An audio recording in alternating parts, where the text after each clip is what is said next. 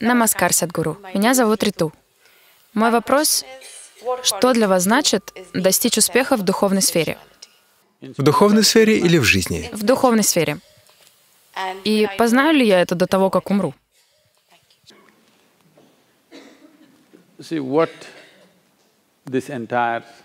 Все надуманные представления о духовности, откуда они взялись? Люди думают, что если они ищут Бога, то они духовные. Вам нужно понять следующее. Сначала вы сделали предположение, а теперь вы пытаетесь подтвердить ваше предположение. Вы хотите, чтобы гуру сказал вам, да, Бог есть, ищи Его. Поиск означает, что вы не знаете, управляет ли мирозданием Бог или дьявол, или же вообще никто не управляет, как в случае с Индией. Вы не знаете. Вот почему вы хотите искать. Поиск. Значит, что вы не знаете, и у вас есть желание узнать. Если кто-то хочет преуспеть, как я уже сказал ранее, самое главное, чтобы ваш интеллект ни с чем не отождествлялся.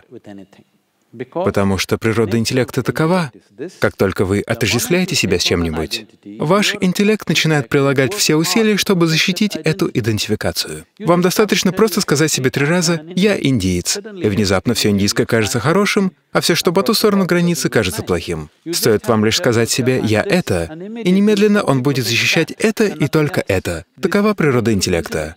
По сути, в этом и состоит задача интеллекта, потому что интеллект — это инструмент для выживания. Интеллект — это не высший разум. К сожалению, из-за того, что мы находимся под слишком сильным влиянием европейской мысли, и кто-то там сказал «я мыслю, следовательно, существую», это все перевернуло. В Индии, в ведической системе, мы не придаем мыслям особого значения. Почему мы не придаем большого значения мыслительному процессу? Потому что он может оперировать только на основе ограниченных данных, которые вы уже набрали. То, что вы называете мыслью, любая мысль, которая у вас возникает, это просто прокрутка тех же ограниченных данных, которые вы уже накопили. Вы можете думать о богах, об удовольствиях, о политике, о деньгах. Все это просто информация, которая у вас уже есть, вы ее просто прокручиваете.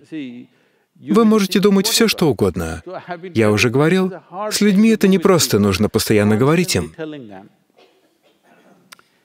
Если во время медитации появится Бог, просто не обращайте внимания.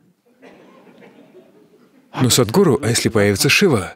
В особенности, если появится Он.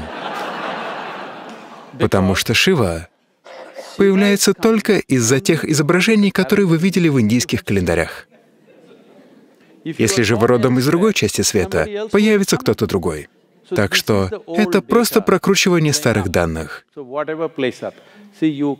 Понимаете, вы не можете думать о Боге, вы не можете думать о деньгах, вы не можете думать об океане или о небе. Вы просто прокручиваете ограниченную информацию.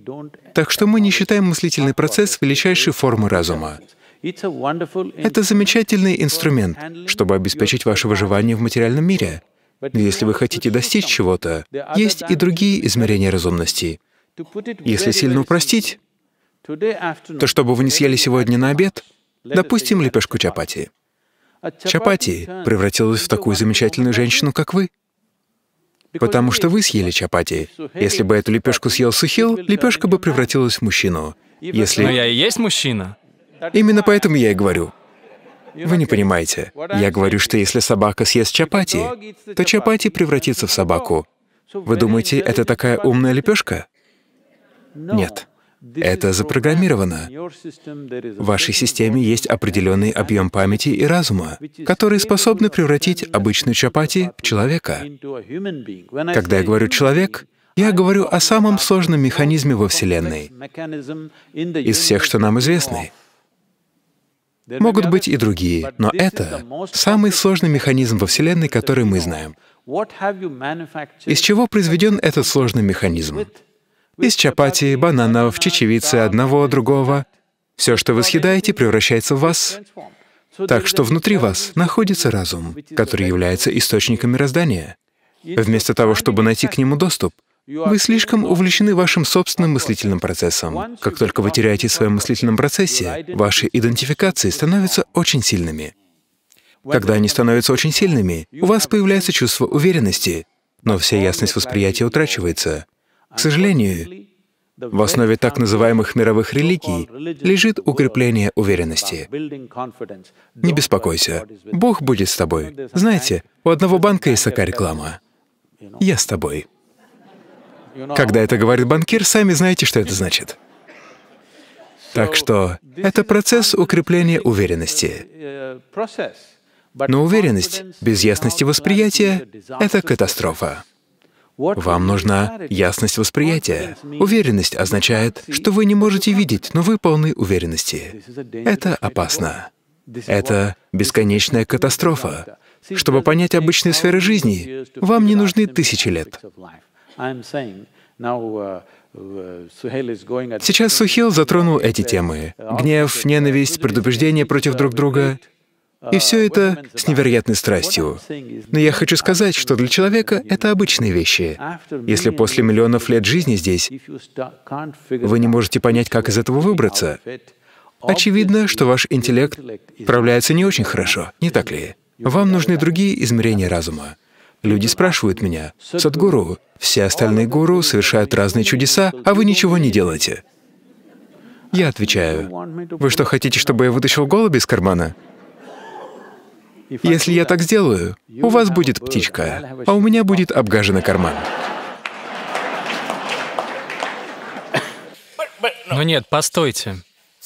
Но вы признаете, что таких людей очень много?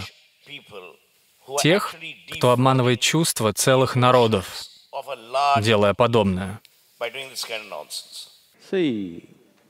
Видите ли, коррупция — это не исключительная привилегия духовных людей.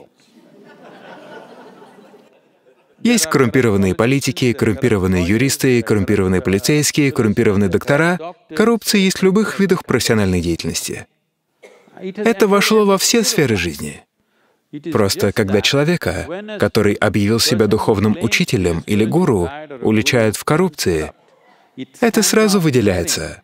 Потому что сегодня, если вы обращаетесь в полицейский участок, то вы воспринимаете коррупцию там как нечто нормальное, к сожалению. Если обошлось без взяток, то вы очень удивляетесь. И тогда вы говорите, вот это да, я сходил в полицейский участок, а у меня даже не попросили взятку, мне там помогли, понимаете? Но если вы пойдете к врачу, и он будет коррумпирован, вы будете немного возмущены, потому что вы вверяете ему свое физическое тело. Но когда вы идете к гуру, вы отдаете ему всю свою жизнь. И если он оказывается коррумпирован, то вы будете очень глубоко ранены. Это естественно. Чем больше доверия вовлечено в процесс, тем больше требуется целостности при выполнении разных уровней активности.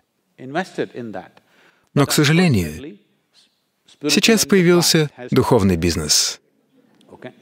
Это бизнес. Если вы прочитали две страницы Гиты, в Индии вы можете стать гуру.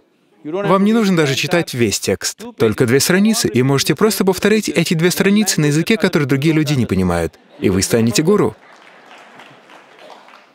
Что же касается успеха в ее духовном процессе, все, что вам нужно сделать сегодня, когда придете домой, сядьте на кровать и посмотрите на себя. То, чем вы являетесь, это только ваши накопления. У вас есть дом, вы его накопили. У вас есть близкие люди, вы собрали их.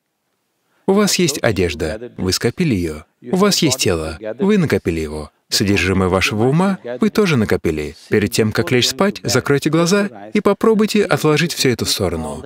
Хотя бы просто в уме. Просто постарайтесь отложить все это в сторону. Перед тем, как ложиться спать каждый день, вы увидите, однажды вы проснетесь так, как вы представить себе не могли. Вы по-настоящему пробудитесь.